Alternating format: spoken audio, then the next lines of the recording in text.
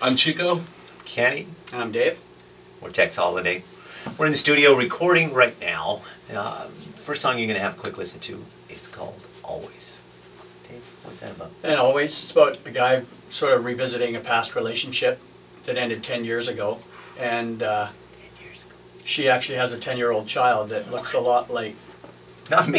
a certain person. kind of a coincidence, maybe. Maybe. Yeah. Here's the song.